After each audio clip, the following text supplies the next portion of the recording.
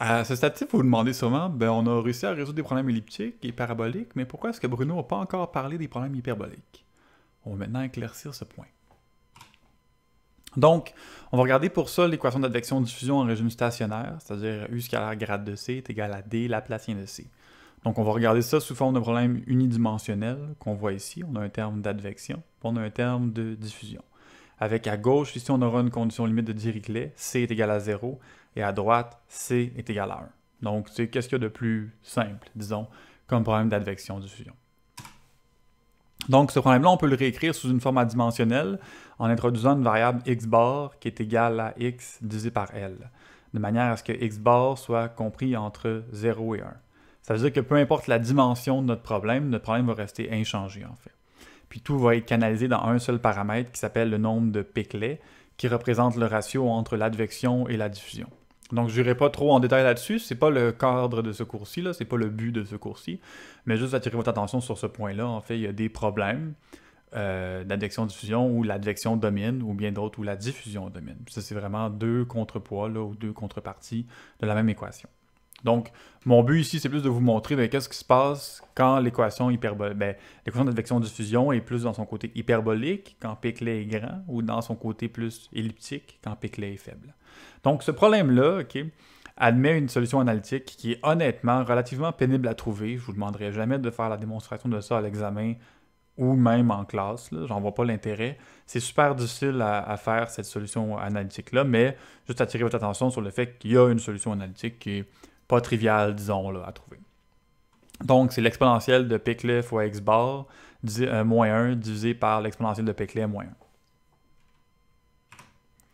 Donc, si j'emploie une discrétisation centrée pour résoudre mon problème, j'obtiens ça ici, en fait. Il faut juste bien attention, attirer l'attention que si U avait varié, j'aurais eu un UI ici, mais U est constant.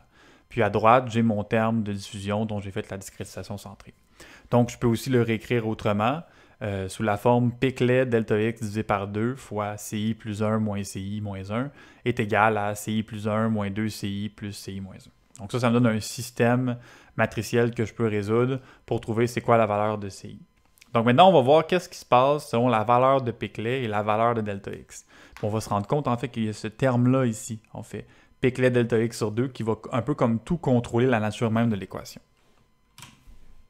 Donc, ici, vous voyez euh, trois familles de solutions obtenues pour, euh, avec un schéma centré pour un nombre de piclets de 1, un nombre de piclets de 10, puis un nombre de piclets de 40. Puis là où je veux attirer votre attention, c'est vraiment sur le comportement de la solution.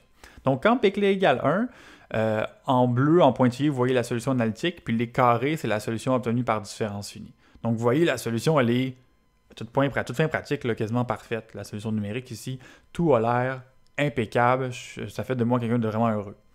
Quand mon nombre de piclets égale 10, c'est la même chose. Vous voyez que le comportement de la solution est vraiment différent. La solution elle est beaucoup plus collée à droite, le changement est beaucoup plus brutal, mais néanmoins, là, vous voyez que euh, la solution numérique, elle est superbe ici, encore une fois, elle est très bien en adéquation avec la solution analytique. Là où les choses se gâtent, c'est quand on augmente encore piclets. Quand je mets un nombre de piclets de 40, vous voyez la solution analytique, elle est vraiment raide. Donc c'est grosso modo, j'ai zéro partout, presque à part sur le bord dans une mince couche. Puis là, qu'est-ce qui se passe, c'est que ma concentration, au lieu de venir se placer ici, comme on pourrait s'y attendre, elle vient ici, en fait. Donc, j'ai ce qu'on appelle une oscillation, en fait.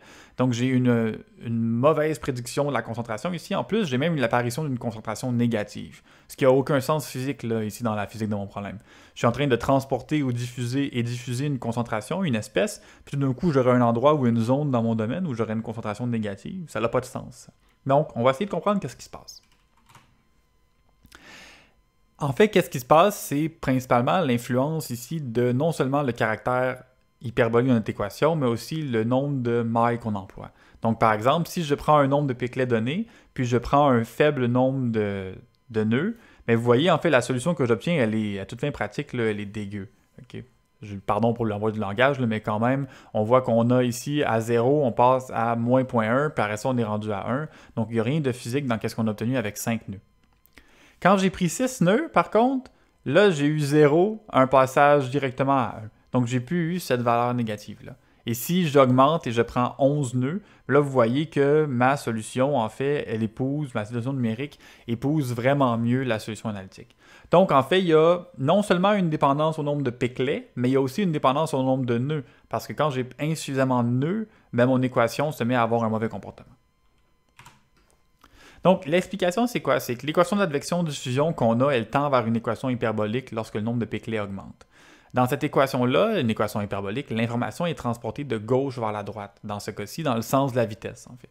Cependant, le schéma centré qu'on prend pour l'advection, euh, lui, va transporter de manière symétrique. Pourquoi? Ben parce qu'on a, en fait, UI plus 1, euh, pardon, pas UI plus 1, mais on a U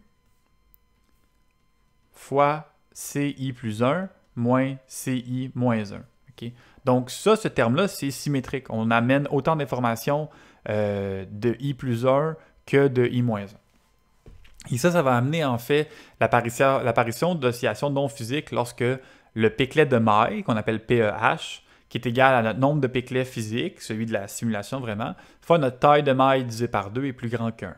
Donc, concrètement, ce que ça veut dire, c'est qu'on a une espèce de nouvelle limitation qui apparaît, euh, qui est non plus une histoire de stabilité par rapport à l'intégration au temps, mais qui est une, dans le fond, une histoire de qu'est-ce qui se passe par rapport à notre schéma centré quand on a un problème qui est euh, qui tend vers une nature hyperbolique. Et dans ce cas-là, en fait, ben, clairement, qu'est-ce qu'on a, c'est qu'on veut que Piclet delta x divisé par 2 euh, soit inférieur à 1 pour qu'on n'ait pas d'oscillation qui soit non physique. Il existe par contre une solution plus simple que ça, ben, plus, compliquée en implémentation, mais qui est beaucoup plus robuste, qui s'appelle le décentrage en fait. Donc l'idée, comme je vous ai dit, c'est le problème dans un problème dans un problème hyperbolique, c'est que l'information ici, par exemple, elle voyage de gauche à droite. Puis qu'est-ce qui se passe, c'est quand on calcule, par exemple, ici, ben, si on amène de l'information à la fois de la gauche et de la droite dans le terme d'advection, c'est ça qui mène à nos oscillations.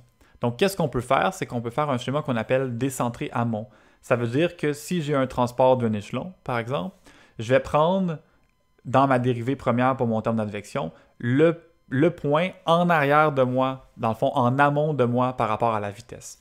Donc, dans mon problème ici, je prendrai une dérivée arrière. Ça veut dire qu'au lieu d'approximer par CI plus 1 moins CI moins 1, j'approximerai par CI moins CI moins 1. Donc ça, c'est un schéma qui est d'ordre 1, mais l'intérêt qu'il a, en fait, c'est qu'il va venir tout le temps chercher l'information en amont de la vitesse dans ce cas-ci. Et si ma vitesse avait été de droite à gauche, bien, mon schéma amont aurait été euh, moins CI plus 1 moins CI. Euh, pardon, non, euh, ça aurait été. Oui, ça aurait été exactement. Ça aurait été donc moins CI plus 1 moins CI. Donc, le, même genre de terme, en fait. Donc, une fois qu'on fait cette modification-là, on peut refaire les mêmes exemples. Et qu'est-ce qu'on retrouve en fait, c'est que toutes les solutions qu'on obtient euh, euh, préservent en fait la positivité ici de la concentration. Donc on n'a plus de résultats qui sont physiquement aberrants, on n'a plus de résultats qui n'ont plus de sens. Le seul problème par contre, c'est que le schéma upwind, qui emploie une dérivée première avec euh, avant ou arrière d'ordre 1, ben, il introduit ce qu'on appelle la diffusion numérique. C'est ce qu'on retrouve ici en fait. Vous voyez la solution en bleu, par exemple avec 20 nœuds, ben, elle est très loin de la solution analytique. Euh, et ça, c'est parce que ben, ici, mon nombre de piclets PE, il est très grand. Euh, donc, j'ai besoin de prendre un schéma euh, décentré pour être stable avec 20 nœuds, mais le, prix que j'ai à payer, en fait, c'est cette diffusion numérique-là qui fait que ma solution, est imprécise. Mais néanmoins, en augmentant mon nombre de nœuds, je vais me rapprocher de plus en plus, de plus en plus, de plus en plus de la solution numérique que je souhaiterais obtenir, qui serait la, la, solution analytique, en fait, ici. Donc, le, fait d'utiliser un schéma décentré amont est quelque chose qui nous permet de s'affranchir de ces limites-là quand l'équation tend vers un problème hyperbolique. Ça, on va voir en fait que ça va exister dans toutes les méthodes numériques. Toutes les méthodes numériques, que ce soit les différences finies, volumes finis ou éléments finis, vont devoir faire face à ce type de problème-là. Euh, puis c'est pour ça en fait que je souhaitais en, parler dans le cadre de ce cours-ci, juste pour vous sensibiliser en fait à la complexité euh, de la résolution des équations hyperboliques, qui sont, je dirais, selon moi, les équations de dérivées partielles les plus complexes à résoudre par des techniques, euh, disons, traditionnelles, de par ce côté-là, en fait, transportif.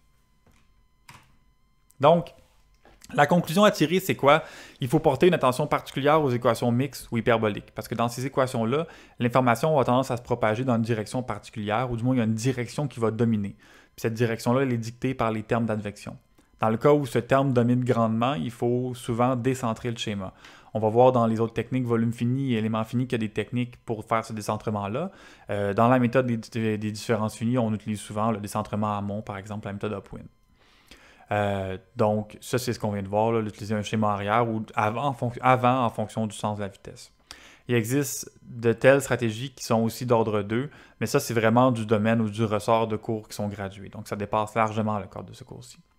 Si un jour vous travaillez dans le domaine de l'aéronautique, l'aérospatiale, vous travaillez avec la résolution des équations de l'air ou les équations de Navier-Stokes compressibles, ces notions-là, reliées au décentrement, au schéma upwind, des choses comme ça, vont être extrêmement importantes parce que les équations de l'air sont des équations hyperboliques. Et toutes les notions d'onde de choc, c'est vraiment des, euh, problèmes en fait où ces, ces caractéristiques-là vont vraiment euh, dominer la solution et où le décentrement ou les stratégies de décentrement pour euh, maintenir ce caractère-là vont, demeurer essentiels. Donc, si vous êtes intéressé à l'aérospatial ou à la solution des problèmes de mécanique des fluides compressibles, qu'est-ce qu'on vient de voir là, en fait, gardez-le vraiment fortement en tête parce que ça va, ça va revenir plus tard dans votre cheminement académique. Bonne continuation!